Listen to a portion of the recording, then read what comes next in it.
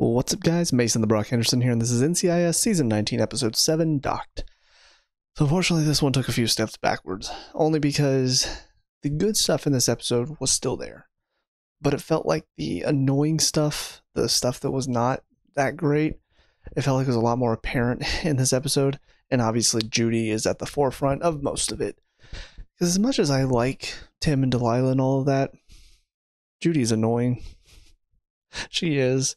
And I don't know, man. Like that that whole story just felt frustrating and stupid and unrealistic and I don't know, maybe this type of stuff does happen, but the extent, like they uh, they obviously will over exaggerate some things for comedy's sake, but this was over exaggerated to a point of kind of annoyance. It almost felt kind of sitcommy, but this is not a sitcom, and it wasn't as funny as it would possibly be in a sitcom.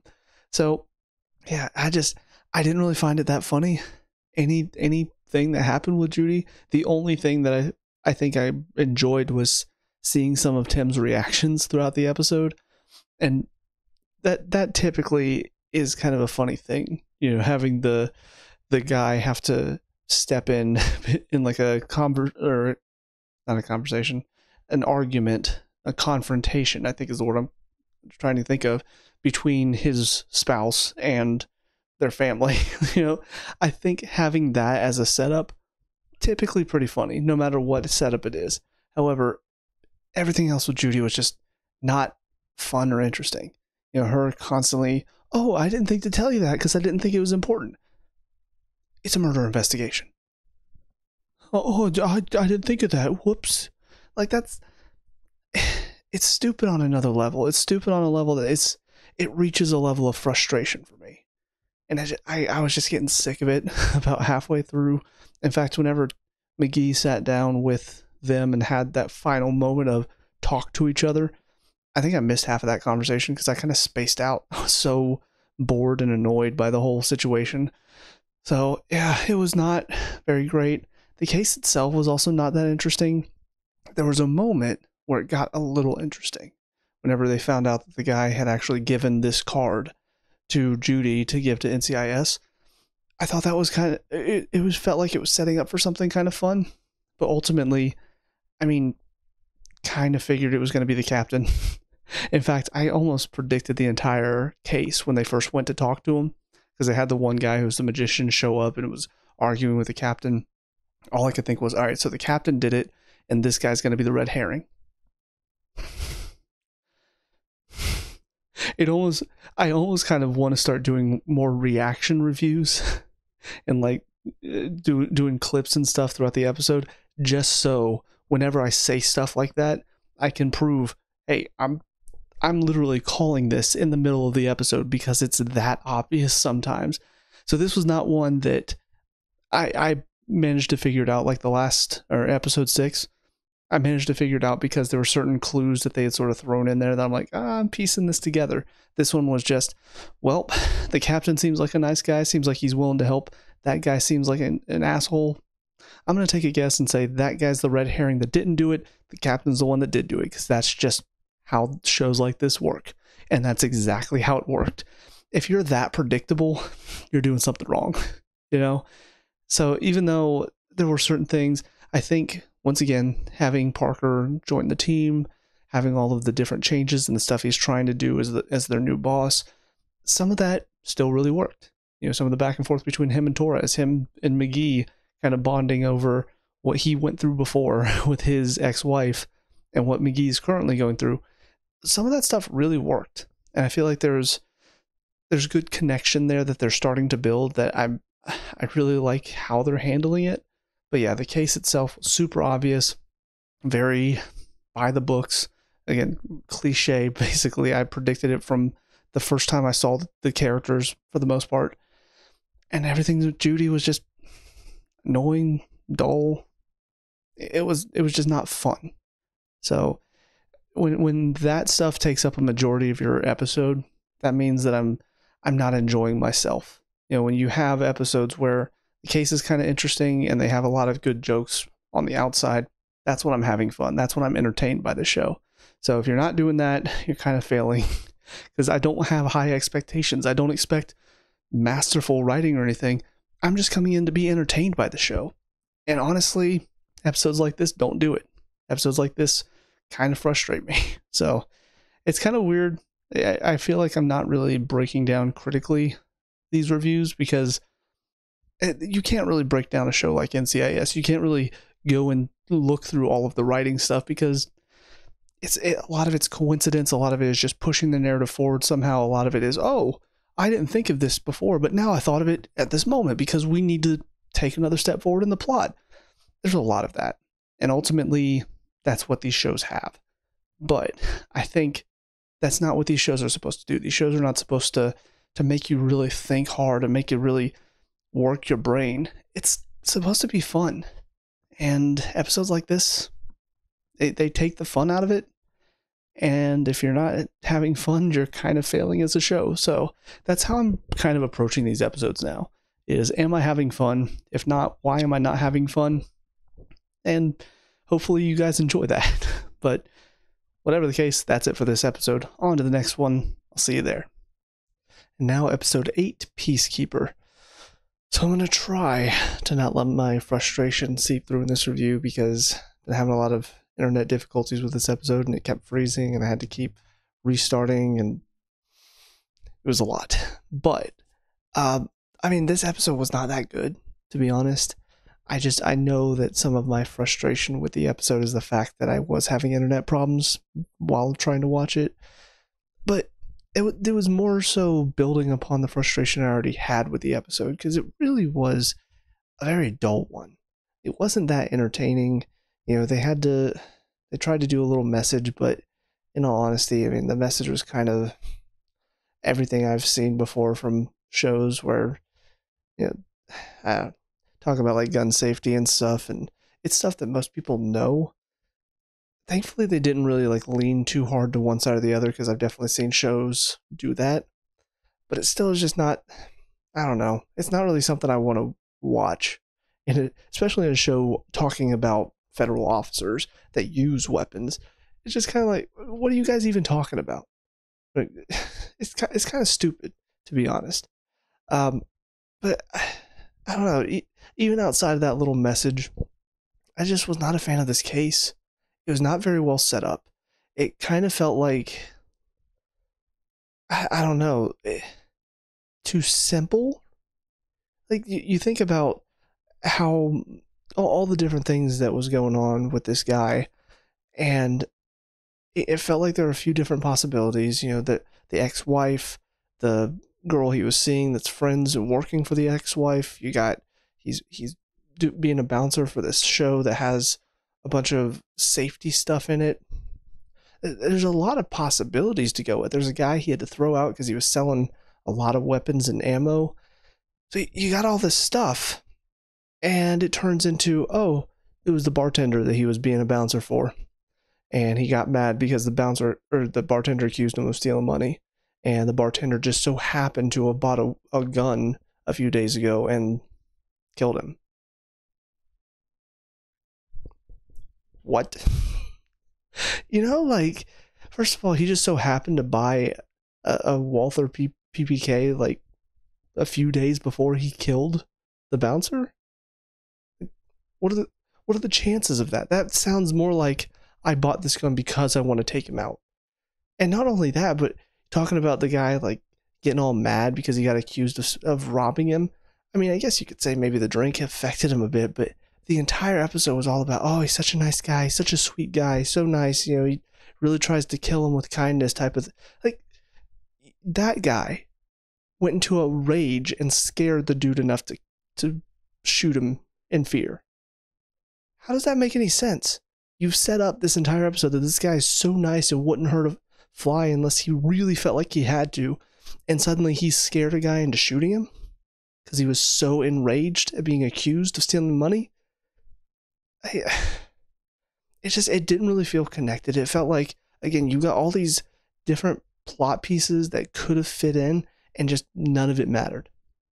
It was all that one bartender we saw in one scene, literally one scene earlier, for maybe um, two minutes. he we we didn't even talk to him for the rest. Uh, granted, that tends to be the the formula. You know, you introduce the killer, you don't talk about them for a while, and then they pop back up because they're the killer. I, it's the formula, but still, in some way, they're still connected. You know, you think about like the the dad from the from what's it called the track episode a few few episodes ago. You think about that one. That felt like okay, you introduced the parents, and then we kind of just ignored them for a little while, but it still felt connected. You know, there's the the steroids. That that was the connection we were talking about throughout most of the episode, and then it turns out that the dad is the one that provided the steroids. Okay, cool. So you made that connection. The bartender had no connection to the rest of the episode outside of he bought an old gun from the one guy. That's it. That's the only connection back to the bartender. Okay, his motive had no nothing to do with the rest of everything. It was just a heat of the moment type of thing. And I don't know if this is them trying to to push the message of like, oh, guns are dangerous. People shouldn't just own guns because this is what could happen. You could get scared and pull it out on somebody and accidentally shoot them in, in fear. Like, I don't know if that's what they're going for. But whatever the case, I mean, this case, it's super weak. It's it's not fun. It's boring. And then again, the rest of the episode is mostly about Kasie trying to decide whether she wants to buy a gun or not. And I'm sitting there going, she's not going to, because why would an episode like from from a show that you know again most shows these days tend to be left leaning anyway, but especially when it comes to gun safety and stuff, I never see a show go, yeah, you should go buy a gun. Never. They're always about don't go buy guns. And honestly, I it didn't really matter, you know, because they made their points throughout the episode. It didn't matter whether or not she bought a gun, but it still took up so much time throughout this entire episode. And I just I don't care, you know, like Kasie, she's gotten better throughout the season. She's not the annoying character that she was whenever she first started but she's still not one of my favorites. She still is kind of annoying from time to time. She still has these moments where it feels like everything's sort of a joke to her. I don't know. I mean, I get why she's scared. I get she's been through a lot and I understand the reasoning. I'm not saying that the reasoning is not there for why she has this story, but to take up a whole, I would say probably third of the episode, it's not that interesting you know, to see her go back and forth and stuff. It's just, it's not. And again, you don't have an interesting enough case and finish to the case to really get me excited to to see what is going to happen. You know, the only, I mean, the only thing that kept me going in this episode was just the fact that I I did want to see. I'm like, okay, you presented all this stuff, but it doesn't feel like any of this is going to be why he was killed. So, what is the motive? why was he killed? Who could have possibly done it? You know, like I it, it was one of those I was curious, but I was also like, I feel like if if they're gonna give me a motive, it feels like it's probably gonna be out of left field. It's probably gonna be something that has not even really been talked about that much. And then turns out it was something that wasn't even talked about hardly at all. or wasn't even talked about ever. You know, this whole missing three hundred dollars. Not not brought up once. And that's the motive for the guy. It's it's just sloppy. And again, I'm here just trying to be entertained. This was not an entertaining episode. This was not fun for me. I was thoroughly bored. Even the the little jokes. You know, you got Torres with his car, you got Parker and his making references to his childhood. None of it was really that funny or entertaining either. It was just very straightforward. So, yeah, not really a good episode. And again, I'm, I'm not letting my frustration with the the internet problems take over here. Like it was not a good episode, in my opinion. So that being said, we're on to the final of these three episodes. I'm gonna try to push through. I'm gonna try to to calm down myself, even though the internet's probably gonna keep pissing me off. But anyways, I'll see you guys there in just a minute. And finally, episode nine, collective memory. Things look a little different. It's because the internet kept messing up. I was done with it this is the next day. Whatever. But no, this one ended up being okay. At first, I was a little worried because I was definitely with Torres on this whole thing. Like the idea of having a 3D hologram of yourself, it's especially nowadays, it's gotten even more scary to, uh, for that thought. Because really, what's the point? And what is the point of having something like this? The only reason I can think of is the reason presented in this episode, where you want to leave something behind for maybe some family that you don't talk to anymore, something like that. But that's about it. and the problem is, if we start doing this for everybody, especially how far AI has come, because this was you know late 2021, now it's 2024. AI has come so far that somebody could easily use that, regenerate your voice, and have you say all sorts of stuff after your death. So I, it's a very slippery slope, and it's one that they they kind of painted it as like, oh, this is such an awesome idea. I'm thinking, no, not really. It, it is weird. It's very weird. It leads to a nice moment because again, in the const in the context of this episode and what she used it for, I thought it was fine and I thought it was sweet and all of that. But that's about the only scenario where I can think it works. Every other scenario, I think, past that is nope, that can be abused and used against people and used for people in malicious ways. So, yeah, I'm definitely not on board with that. But no, the overall story I thought was fine. Um, not too predictable. You know, it, it definitely was feeling more like the lawyer, especially after they went and talked to him. Because my first thought was the butler too, just how highly he was praising her and stuff. And honestly, I was kind of wondering if we were gonna find out that the reason he was acting this way is because he felt so bad about what he did. But we never really got that confirmation. It just we found out he's the one that sent the letter. We found out somebody paid him to do it, and that's kind of where his story ended. I felt like that was a weird place to end it you know the the way he was talking about her and the way he was acting the beginning of the episode i thought okay so this is leading to he feels bad for what he did because he actually did love her. But we never came back to that. So i thought that was kind of a plot hole that they or a plot point that they left uh, open ended so i don't know if we're supposed to imply that or if they just forgot to finish that story. But once the lawyer pointed the finger at the butler that's that's when i kind of started suspecting him just because it, it felt felt too obvious, convenient for him to just be like, "Oh, well, have you looked at Jeffrey over there? Because he's done some weird stuff." It, yeah, it, at that point, I'm kind of like, okay, so you're definitely involved, right? You you are involved in this in some way, and you probably had a hand in her death. And to find out his reasoning, you know, it's, eh, I guess it's it's not bad, and actually, it's not something that I I really considered, but you know, it makes some sort of sense finding out that he was involved with the blackmail in the first place. I, I like that twist. You know, I thought that was handled pretty well. You know, it was not something that came out of left field. They did build it up a bit. So yeah, I I, I think it's a solid twist. It's maybe some I, I have seen stuff like this before, so maybe a little cliche, but not bad. You know, it was it was well written and well set up for me. So, but I think his acting at the end was honestly not great. I thought the daughter actually did a pretty solid job throughout most of the episode, but his acting at the end was very goofy. It's just the way he's.